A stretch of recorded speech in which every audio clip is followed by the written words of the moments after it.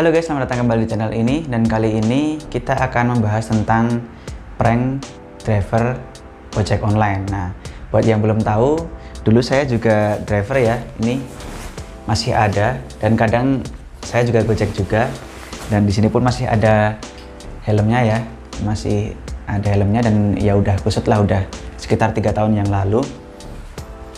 Dan inilah kenapa alasan saya ingin membahas tentang uh, prank ojek online ini buat apa ya uh, agar teman-teman juga tahu uh, apa sih yang dirasakan oleh driver ojek online kalau ordernya di cancel.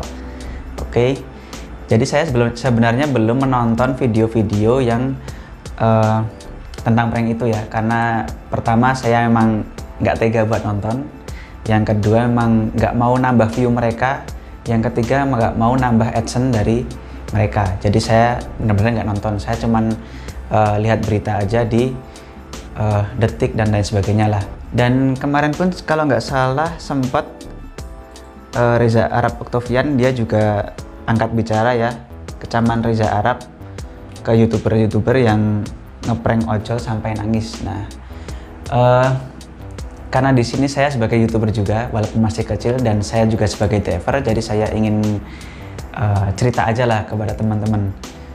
Sebenarnya uh, masalah nggak sih kalau driver itu di prank?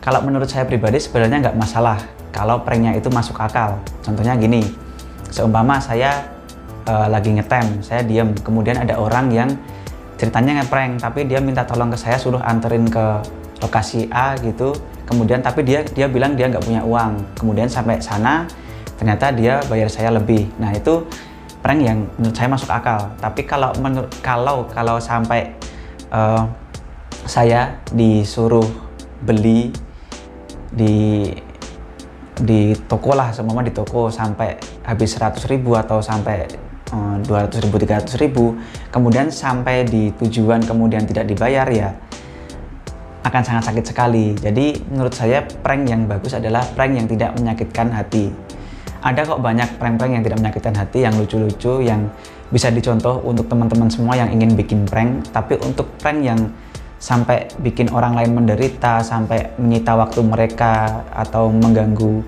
uh, perjalanan mereka atau hal-hal lainnya yang istilahnya mengganggu, uh, mending dihentikan lah istilahnya gitu. Saya sendiri pun nge-YouTube memang saya pengen AdSense gitu kan, tapi nggak dengan cara yang menurut saya agak bodoh seperti itu yang uh, berbahagia di atas penderitaan orang lain. Karena uh, gini buat teman-teman yang belum tahu kalau driver itu ada uh, teman-teman order GoFood nih seumpama 100 ribu, 200 ribu atau 300 ribu itu tidak masuk ke akun atau tidak ada bagian dari uang Anda yang 100 ribu dan 200 ribu, 300 ribu itu ke drivernya. Jadi driver memang benar-benar driver. Seumpama dari uh, lokasi kalian A, kemudian ada restoran tempatnya B. Ya dari B ke A itu jaraknya berapa dan itu adalah bayaran untuk ke drivernya. Jadi kalau seumpama dari A ke B tadi apa dari B ke A tadi itu adalah 10.000 ya driver mau belanja 1 juta, 2 juta, 3 juta ya driver tetap dapat cuman 10.000. Jadi driver mengeluarkan uang banyak gitu untuk uh, membelanjakan dulu barang-barang kalian. Jadi kenapa driver akan sakit sakit hati sekali ketika driver apa uh, ketika orderan GoFood atau GoShop itu di cancel karena yang mereka spend uang banyak gitu. Seumpama dari A ke B tadi ordernya cuman eh ordernya 100 ribu gitu. Mereka akan spend uang 100 ribu kemudian mereka akan belikan itu dulu pakai uang mereka gitu. Ketika itu di cancel ya akan sakit hati sekali. Sama halnya dengan kalau semua teman-teman itu order satu juta ya sama mereka akan mengeluarkan uang dulu satu juta. Kemudian nanti di depan teman-teman semua akan diganti istilahnya seperti itu. Jadi kalau di cancel ya satu juta mereka hilang dong. Jadi barang dan barang itu pun nggak mungkin laku untuk dijualkan ke orang lain yang tidak membutuhkan. Karena yang membutuhkan adalah orang-orang yang mengorder. Jadi ya menurut saya tolong hentikan ya prank-prank seperti ini. Buat teman-teman yang ingin ngeprank please jangan ngeprank dengan cara yang merugikan orang lain. Ada kok banyak youtuber-youtuber lain. Contohnya kemarin aku nonton ada Itop Cupau kalau teman-teman nonton dia uh, nonton video Dora di tempat umum kemudian ya dia dia tidak mengganggu dia uh, lucu lah malahan malah orang-orang di sekitarnya itu mengetawain dia. Nah itu adalah prank yang menurut saya prank yang masih bagus dibandingkan teman-teman melakukan hal yang konyol untuk ngeprank driver. Walaupun uangnya diganti ya ini kan kemarin sempat diobrolin juga sama teman. Walaupun uangnya diganti 10 kali lipat contohnya ordernya 100 ribu atau 1 juta kemudian diganti ke 5 juta atau berapa juta ya untuk uh, youtuber youtuber youtuber besar yang ngeprank pasti saya yakin dalam satu bulan dalam satu bulan uang itu pasti akan tergantikan oleh AdSense.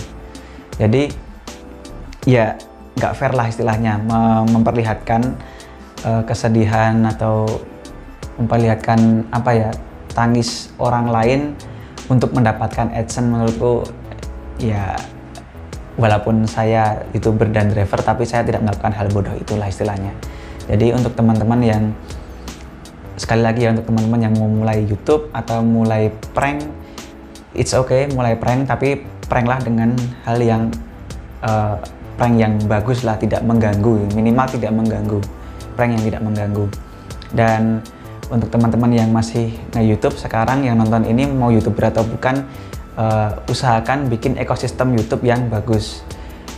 Teman-teman bisa bikin edukasi, bikin hiburan yang tidak mengganggu orang lain, bikin musik dan lain sebagainya terserah.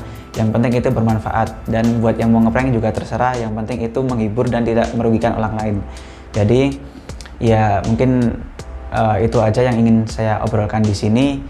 Uh, semoga YouTube Indonesia menjadi lebih baik lagi dan semoga tidak ada hal-hal bodoh lagi yang muncul di trending-trending di Indonesia ini. Oke, jangan lupa untuk klik subscribe yang ada di kanan bawah dan klik aja loncengnya agar teman-teman tidak ketinggalan video-video dari channel ini. Dan jangan lupa juga untuk share ini ke semua orang agar orang-orang tahu bahwa hal seperti ini tidak bagus untuk dilakukan. Dan jangan lupa juga untuk klik tombol like kalau teman-teman suka video ini. Sampai jumpa di video selanjutnya. Terima kasih.